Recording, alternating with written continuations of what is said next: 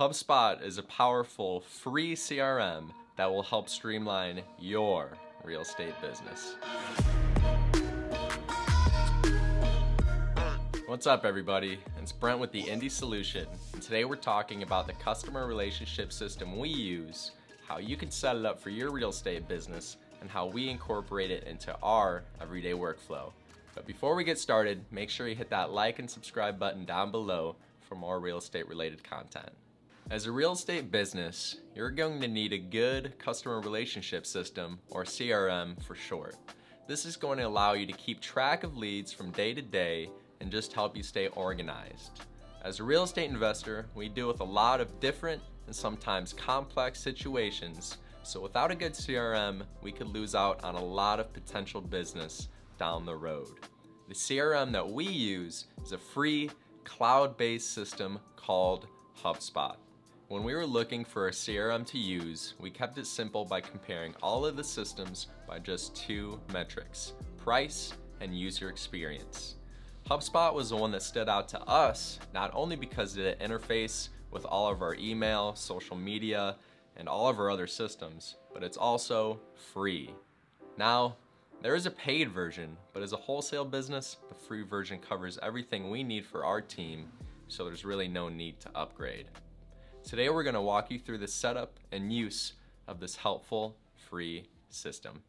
All right, here we are in the homepage of HubSpot.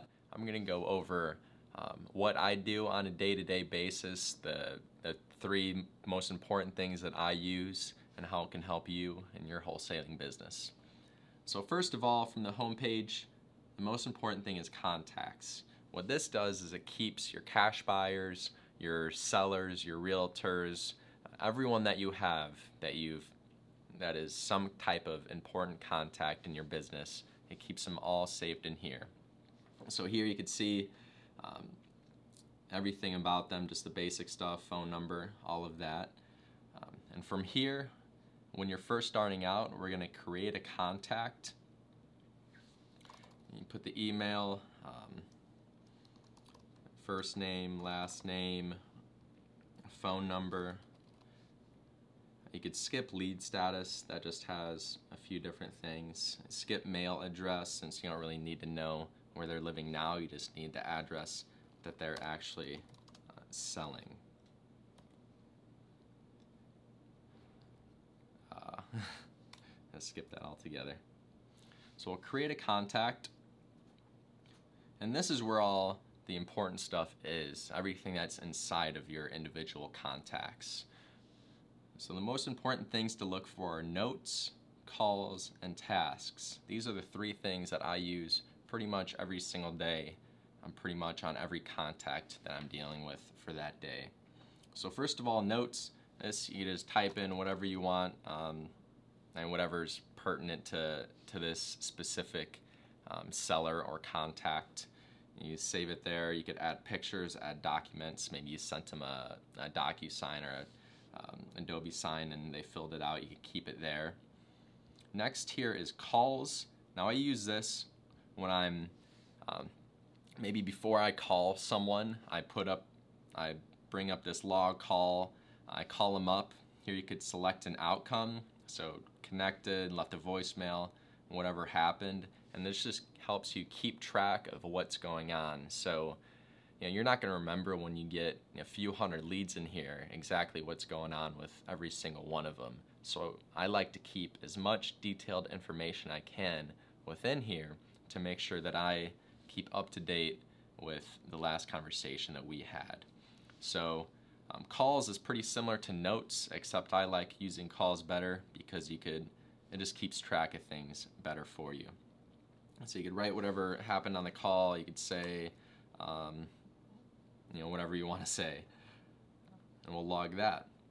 Now the most important thing that I use, and the main reason that you're going to use a CRM, is for uh, what is in HubSpot called the tasks. Now this tells you, it's pretty much like reminders or events or um, you know a calendar. You just put in what is your next task that you need to do with this certain um, contact. So a lot of mine I'll say follow up or or call Uh, maybe I'll say get pics. And this way, I know that I know the next step that I need to take with this specific uh, particular contact. Now, pretty much every time I, I talk to a contact, I'm gonna make a new task so that I know what I should do next and I don't forget. So I'll say, you know, get pics, um, make it for a week from now, and then in a week from now, it's gonna show me um, what I what I need to do with them. I'll I'll show you um, a quick overview of what a completed um, contact might look like. So this person created an October 10th, uh, made some notes, logged a call, uh, followed up a few times, made more notes, made a task, and then I started a deal, which is what we're going to go over next. Started a new deal, offer accepted, um, and then sent to buyers, closed won. So this started on October 10th and it didn't close until December 4th. So that just shows you how much you need a CRM so that you could keep track of what's going on. So what are the deals here? I'll show you real quick and this will be the last thing that we go over. Um, so when you're on a contact like here, you press this, this thing right here and you could add a deal. So this is when you get a new contract signed, you send it to buyers and stuff like that. And you um, just keep track of what's going on. So maybe um, offer accepted, uh, whatever you want to put, um, close date, whatever um, your contract says is a close, uh, deal type would pretty much all be new business, and then you could skip that, and that'll uh, and that'll put it in your deal pipeline over here where you can see you know hot leads uh, offer sent offer accepted sent to buyers closed won closed lost. And that's where you can keep track of all of your most hot and um, qualified leads that will become deals in the end now as you can see HubSpot's a super simple and easy CRM that we use for our real estate business and think can help you and yours.